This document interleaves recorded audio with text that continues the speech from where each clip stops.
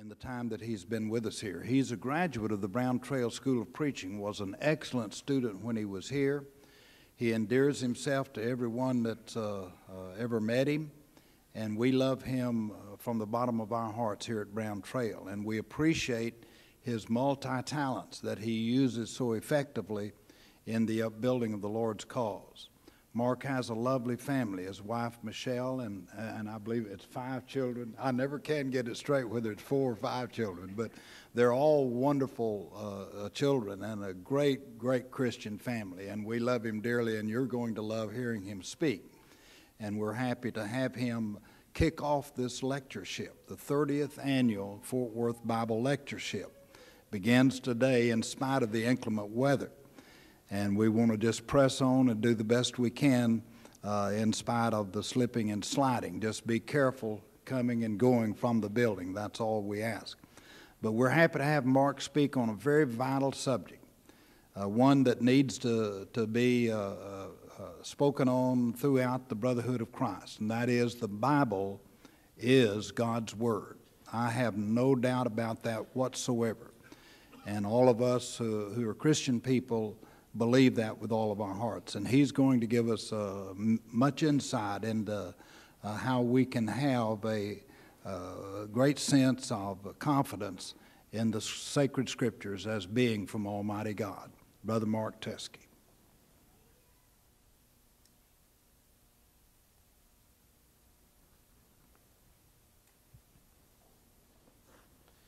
I hope you all appreciated that introduction. Uh, to get Max to say those kind words is going to cost me very dearly. I appreciate him so much, and I appreciate the opportunity to be before you this morning and to, and to kick off this great lectureship. On the outside, there appeared to be great reforms going on within the land of Judah. King Josiah did a wonderful job of tearing down the idols, cleansing the temple, rebuilding parts of it, celebrating the Passover like it hadn't been celebrated in centuries.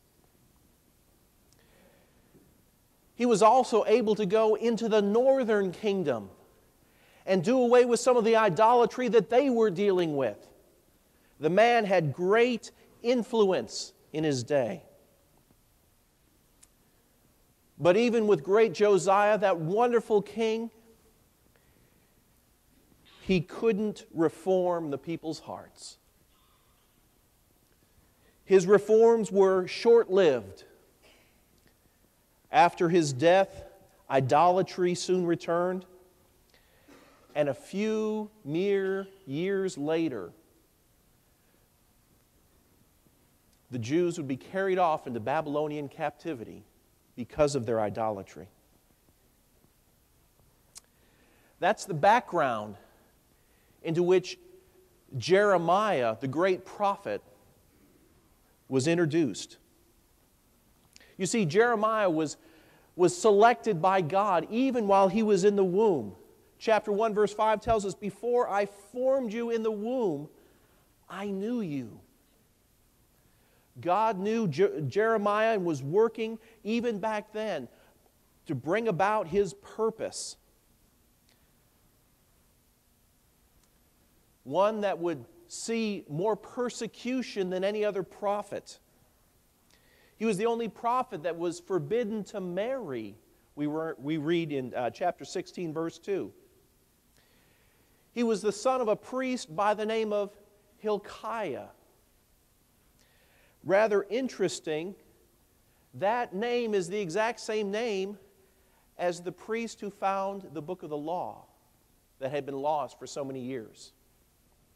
The finding of the book of the law occurred a mere five years after Jeremiah started his work, leading some to the conclusion that Hilkiah, the one who found the book of the law, and Hilkiah, Jeremiah's father, were indeed the same person a very real possibility. Rather ironic as well, because Jeremiah spoke the word of the Lord. One of the things I'd like for us to think about as we, as we think about Jeremiah and, and speaking the word of the Lord is let's just fast forward for just a brief moment to the New Testament and look back at the Jeremiah at Jeremiah's writings from the New Testament perspective. You see, some of his prophecy was quoted by Jesus and by Paul. The gospel writer Matthew confirmed Jeremiah as a prophet. And there are between 41 and 96 allusions to his writings in the New Testament documents. You see, the link between Jeremiah and the New Testament is very real. The two are inseparably linked. You can't take the New Testament and throw away Jeremiah. You can't take Jeremiah and throw away the New Testament. The two go hand in hand. There's some in the world who claim that, oh, the people in the churches of Christ, they don't believe in the Old Testament. On the contrary, I'm here declaring before you that if you don't believe in the Old Testament, if you don't believe in the inspired writings of Jeremiah, you have a hard time with the New Testament as well. The two of them come together.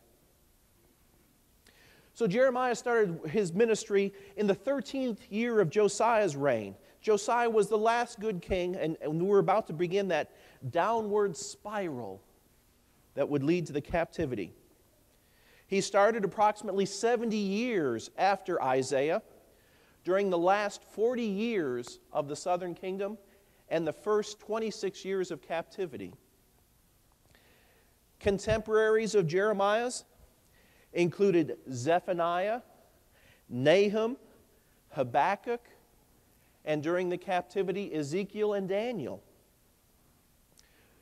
This was a time that's one of the most one of the best documented as far as prophetical writings go in the whole history of Judah. And the phrase that we hear continually the word of the Lord, the word of the Lord, the word of the Lord. But you see, during that day, there was a lack of respect for God's word.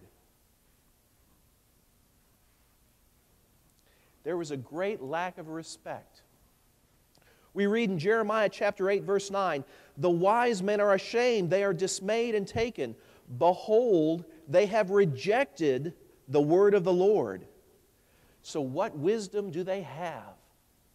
And I think that well summarizes the situation in which Jeremiah was, Jeremiah was working a total lack of respect for the word. In the 36th chapter of Jeremiah, we have the story of King Jehoiakim who was being read the works of Jeremiah. He would read, have a small section read to him. He'd take a knife, cut it, and throw it into the fire. So that by the time the entire work was read, it had all been burned. That indeed is a lack of respect for God's word. In contrast, King Josiah, when the book of the law was found, the word of the Lord he wept, mourned, and sprang into action. We see two totally different reactions to the word of the Lord. Let me ask you this question this morning How do you respond to God's word? How do you respond to God's word? There's the way King Josiah did, accepting, weeping, and mourning, and a springing to action or like King Zedekiah, uh, excuse me, King Jehoiakim, who cut it off and threw it in the fire. Which way do you respond to the teachings of the Lord? You see, when the commands are easy, something that we agree with, they can be very easy. But it's when the word of the Lord goes against our personal will where the rubber meets the road, then how do you respond? What effect does it have? Do you throw it away or do you embrace it? We see Jeremiah was very, was very persecuted by those around him. There was a conspiracy to verbally attack and discredit him, as we read in chapter 18, verse 18. He was beaten and imprisoned and then thrown into a cistern, we read in chapter 38. There was great persecution against these men who were delivering the word of the Lord. Let me read a small section for you from chapter 26, beginning in verse 20. Now there was also a man who prophesied in the name of the Lord, Urijah, the son of Shemaiah of Kirjath Jearim, who prophesied against this city and against this land according to all the words of Jeremiah. Their language was consistent. And when Jehoiakim the king, with all his mighty men and all the princes, heard his words, the king sought him to put him to death. But when Urijah heard it, he was afraid and fled and went to Egypt.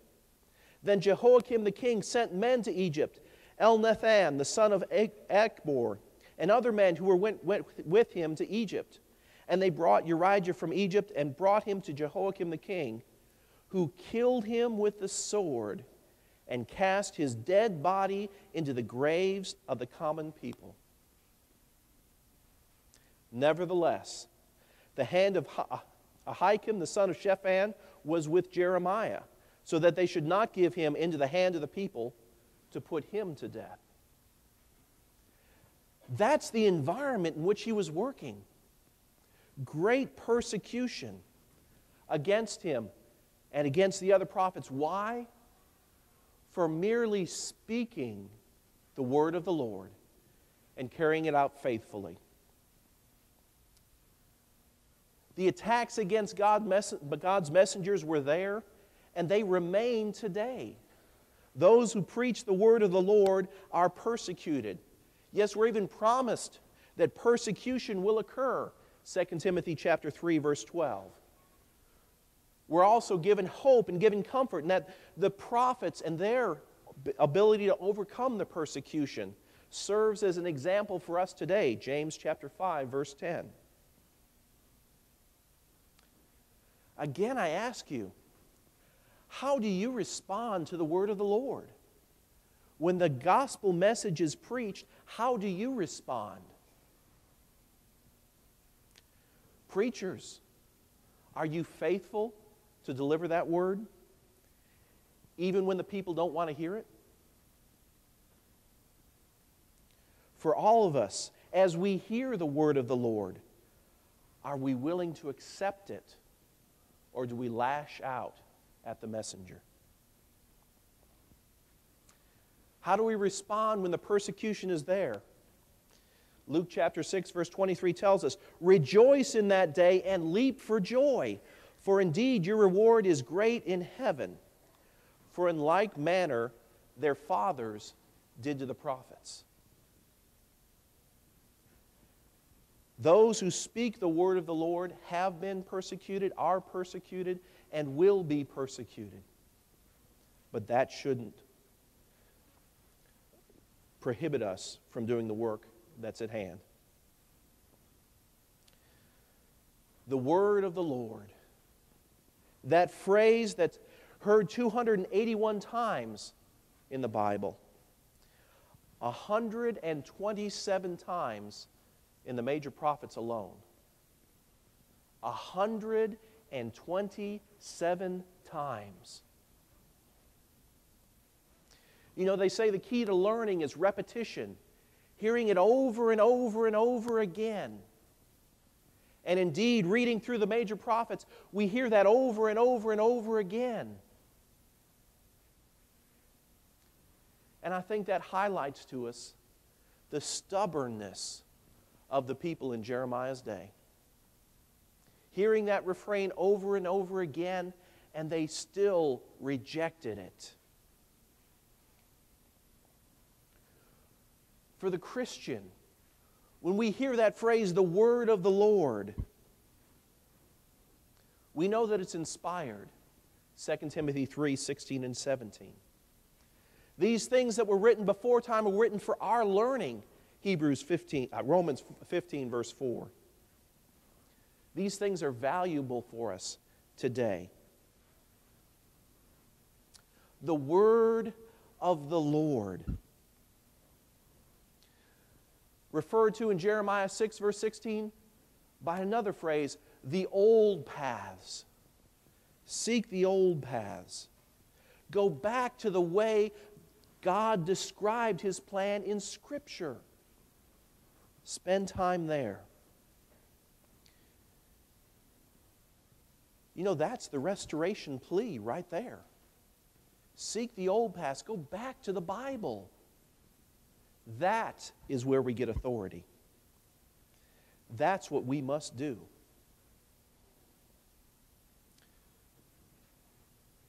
Brethren, don't be deceived.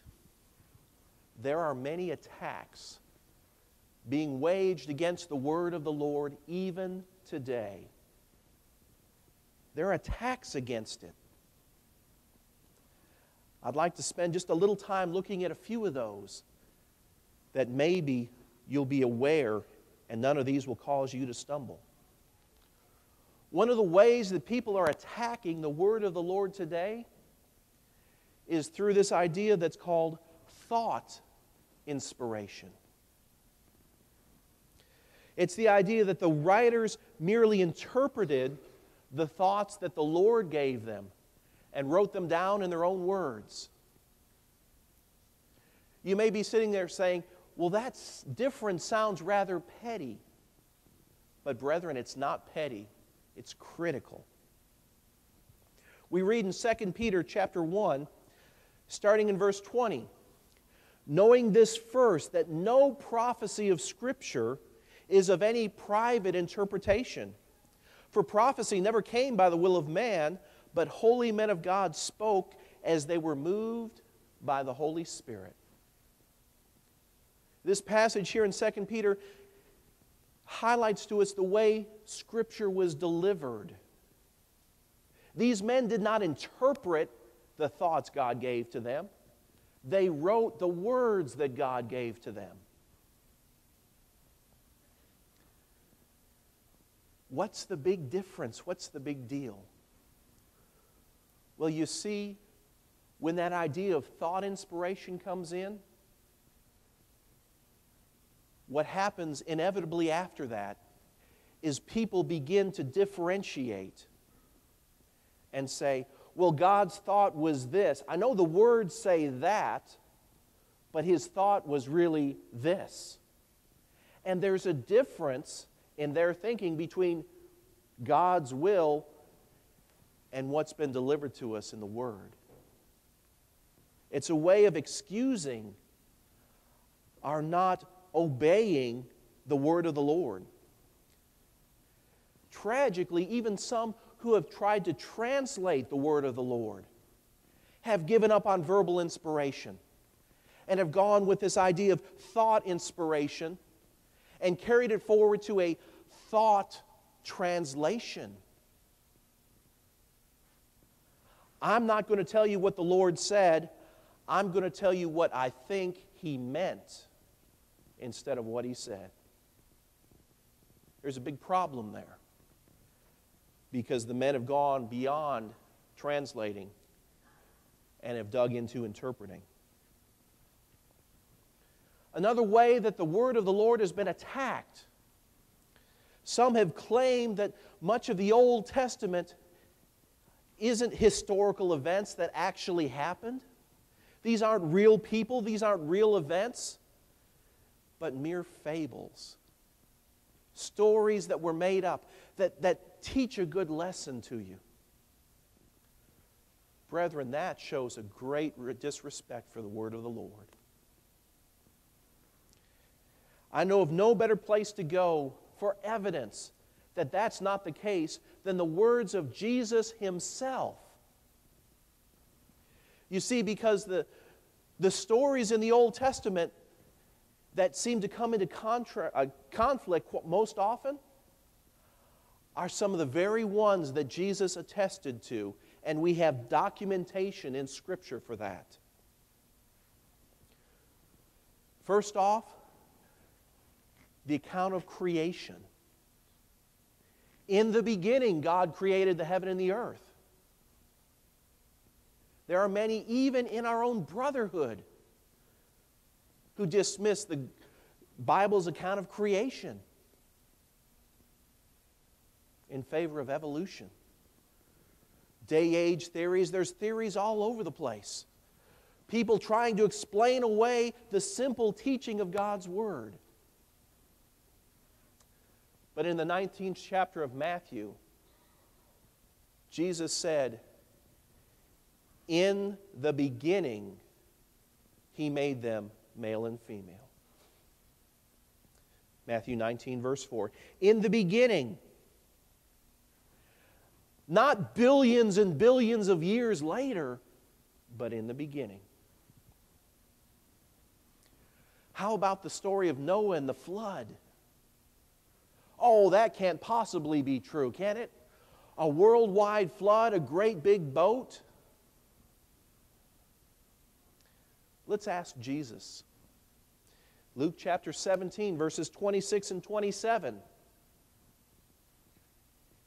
He says, As in the days of Noah, real man, those people were real people who were destroyed in the flood. And he uses it to compare to his second coming. Those people had no clue, and that serves as a witness to you and I today. How about the story of Sodom and Gomorrah? God raining fire and brimstone down on these wicked cities. Lot and his family being rescued by two angels posing as men. Could that story possibly be true? Still in Luke chapter 17, verses 29 through 32. Jesus talks about those souls of those people who were destroyed when Sodom and Gomorrah were destroyed. Real people. Again, he's backing up the words of the Lord. How about the story of Jonah and that great, the great fish? Luke chapter 11, verses 29 through 32. The story of Jonah real people. And those people in Nineveh who converted, who changed, repented of their sins, they will rise up in judgment upon this generation, Jesus said. Real people, and you're going to see them come Judgment Day.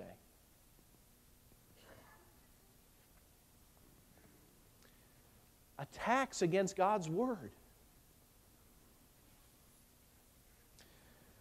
Some people have, have claimed that the Bible is full of errors and contradictions. Critics throw that allegation out time and time again. Yet never, ever has a single one been proven. Not a one. Yet they don't stop making the claim. They still say, time and time again, oh, the Bible's filled with errors. And when you dig into the details, every time the Bible rings true. What's the effect of these different attacks on Scripture? Well, if you allow one of them to remove your faith in Scripture, it takes away the control of the text. It takes away the control of the text. Is this the word of the Lord or is it not? You see, because if Jonah was not a real man, and those literal people in the literal city of Nineveh didn't literally repent at the literal preaching of Jonah, then Jesus didn't know what he was talking about. Did he? He said that we're going to meet those people at the judgment day. We can't throw one out without affecting all the others.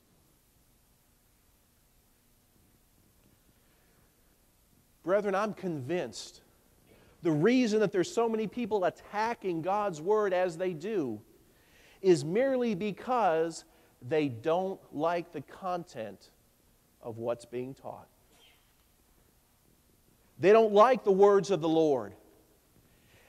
It's their version of doing what King Jehoiakim did by cutting it off and throwing it in the fire. Don't like the teaching? Criticize the messenger, even if it's the word of the Lord. You see, God's word is powerful, it's strong, it's effective. Jeremiah was told in verse 10 of the first chapter, he said, See, I have this day set you over the nations and over the kingdoms, to root out, to pull down, to destroy, and to throw down, to build and to plant. Jeremiah, you're receiving the word of the Lord because there's a job to be done. There's work to be done. And this, my friend, is your tool. Notice the things that were told to him that he was to do with this to root out, to pull down, to destroy, to throw down. Negative things, but also to build and to plant. You see, the content of much of Jeremiah's message, the word of the Lord that came through him, much of it was negative. It was difficult for the people to hear, difficult for them to take in. But that's because their lives were not what they should be. So oftentimes the charges come that, oh, the preaching is so negative. And in reality, it's just the word of the Lord. The negative, negativity comes because our lives are not right. And at the same time, there were false prophets in his day saying, Peace, peace, chapter 6, verse 14. There was no peace. Jeremiah was telling the truth, truly proclaiming the word of the Lord. The Hebrew writer tells us the word of God is living and powerful and sharper than any two edged sword, piercing even to the division of soul and spirit and of joints and marrow, and is a discerner of the thoughts and intents of the heart.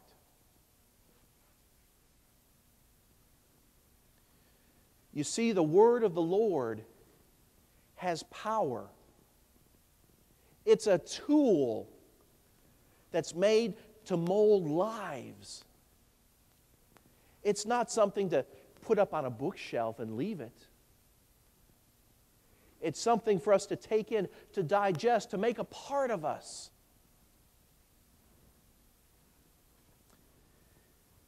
You see, if we choose to apply it or not makes no difference on the power of the Word. Isaiah records that God's Word is not going to return to him void. Chapter 55, verse 11. It's going to do its job. Regardless of whether you and I accept it or reject it. His word will judge us in the last day. John 12, verse 48. The word is indeed powerful. Let's look just a moment at, at Jesus and his view of Scripture. He being the perfect Son of God, his view of Scripture should become our view of Scripture. He had the knowledge. He had the understanding. And if we mirror that, we'll have a proper knowledge and understanding ourselves. Five different occasions in his ministry, Jesus used the phrase, Have you not read? Have you not read? Read what? the Scriptures. Each and every time he followed that up, quoting Scripture.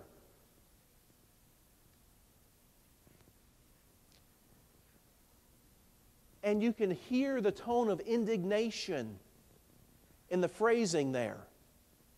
Haven't you read? You should have read. You should have understood. And you should have applied it. That's his expectation. There's power in that word. There is mighty power in that word.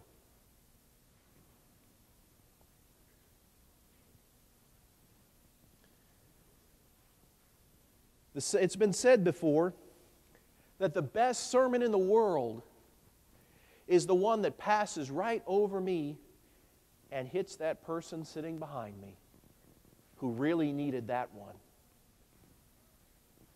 Brethren, sadly, that's the, the attitude too many have taken to the word of the Lord. Rather than spending time in self examination, we spend our time in examination of others. Absolutely, we need to judge with righteous judgment. But, brethren, Scripture also says we need to remove the plank from our own eye first. Then we can help our brother remove the speck from his eye. You who are spiritual, restore such a one.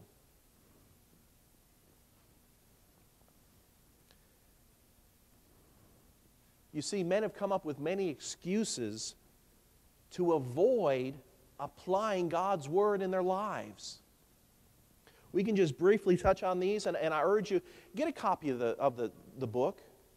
There's a lot more in the book than you'll ever hear any of the speakers uh, talk about, and it's worded so much better when you have time to think about it. How do people avoid applying God's word? Well, one is, is through the use of postmodern thought. The idea, I'm okay, you're okay. There's no such thing as absolute truth. I have my truth, you have your truth. Doesn't matter if it contradicts each other, it's okay. Our truths are different. I don't have to conform to your truth, your interpretation, because that's different from my interpretation. Brethren, that's postmodernism. And it's a way that people use when they don't like the teaching of God's Word to say, oh, well, that's just your truth, that's just your interpretation.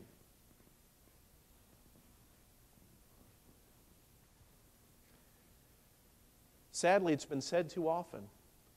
When people read passages like Mark 16, verses 15 and 16, they'll read it and without any comment start arguing with the text. It's plain and clear. So simple a child can understand it. But again, that's rejecting the truth that's there. It's similar to what we read in the book of Judges. In that day, there was no king in Israel. Everyone did what was right in their own eyes. Or as Jesus said, the man who built his house upon the sand. Those were the people who heard his word and didn't apply it in their lives. Building your house upon the rock is those who hear the word and do it. If you're explaining away the teachings of God's Word, your house is built on the sand. Make no mistake about it.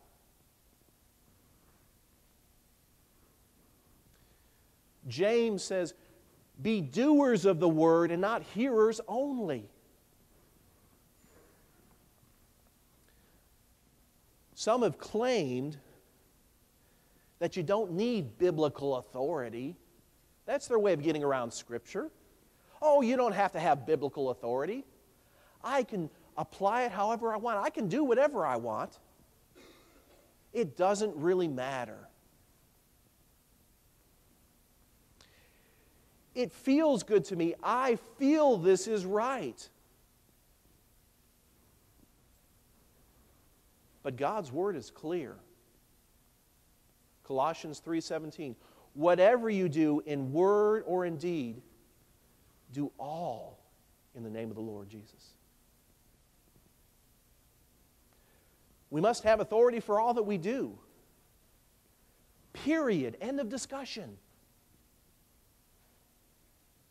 We must have authority. Others have attacked God's word by trying to change who it applies to. And I'll be honest with you, this is one of the most bizarre arguments I have ever heard. Some people have said, okay, the, the New Testament doesn't apply to non Christians. Oh? If I'm not under the old covenant and I'm not under the new covenant, I have no covenant. I have no law. If I have no law, I can't sin. So, why would I be a fool, try and become a Christian, put myself under a law, and create the potential of sin if I couldn't sin before? That argument is ridiculous. Utterly ridiculous. Others have gone and, and tried to say that Jesus' teachings weren't part of the new covenant, that was old covenant. Totally neglecting the fact that the old was about to come to an end. It's nailed to the cross, Colossians 2:14.